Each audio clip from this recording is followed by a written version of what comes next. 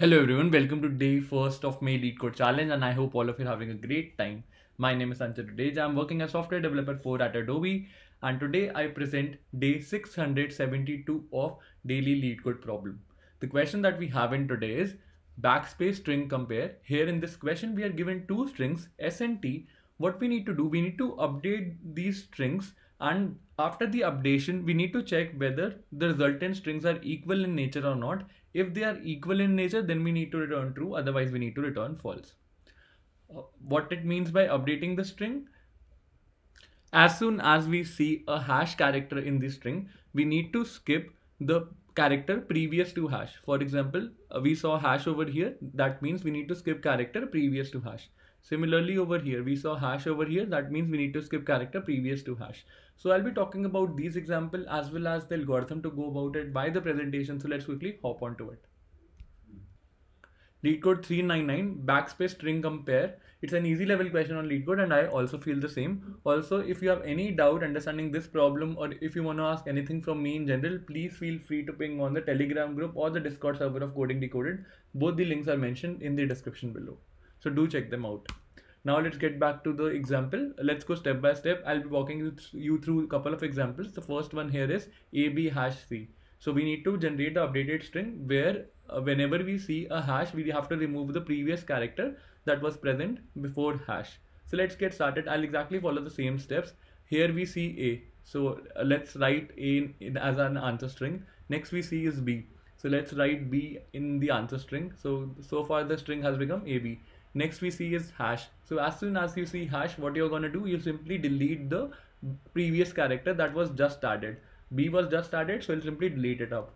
Let's proceed ahead. Next we see is c. So you go and add c to your answer string the answer becomes ac pretty straightforward. Now let's look at few more examples. Now we have ad hash c. And again we are going to follow the same thing. You see a you add it up. You see d you add it up. Next you see is hash. You delete the, the, most recent character that was added added which was d. And then you have c so answer becomes ac so as you can see that uh, the updated string for this particular string is ac for this particular string is again ac both are equal and we have to return true in those cases. Now let's walk through an interesting case which is slightly longer example so that you get a good hold of the concept. The first character that we see is b. Next we see is x. Next we see is o.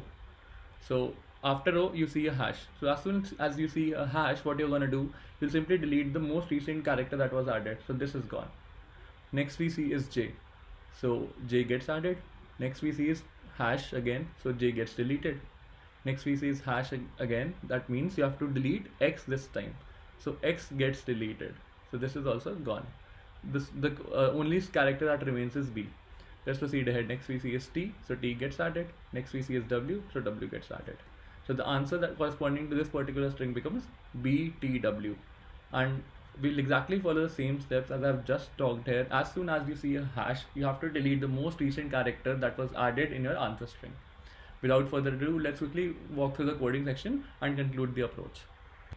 Here I've created the helper method which is actually updating my input string and I pass in s to it, I pass in t to it and then, then make a comparison between the updated string that I get from s and updated string that I get from t and if in case both are equal I return true otherwise I return false.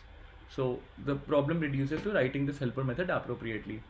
For deleting the most recent character added in your answer string, I'm using one functionality of string builder which is you can simply delete the character that was added at a particular index and since you're always deleting the last character that was added uh, this operation can be done easily in order of one time so time complexity of this approach this uh, logic is order of one so let's get started uh, I iterate over the input string that is being passed over here. In case my current character is not equal to hash, what do I need to do?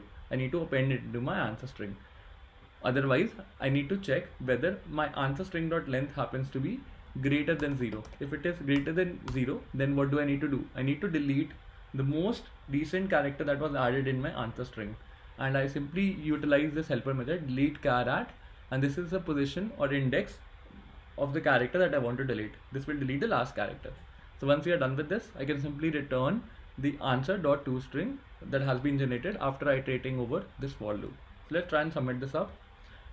the similar we can write a similar algorithm using stacks as well because sta- in stacks we also do the same thing you can, you can keep track of the topmost element to lead, delete the most recent character that has been added awesome accepted uh, it is 70 87 percent faster which is pretty good. Similarly in, in terms of memory as well. So let's write the time complexity too the time complexity becomes order of n because you are iterating over the uh, uh, string only once in both these cases.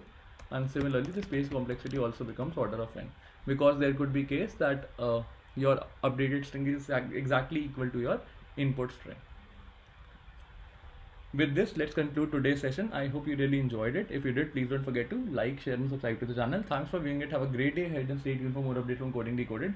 I'll see you tomorrow with another fresh question. But till then goodbye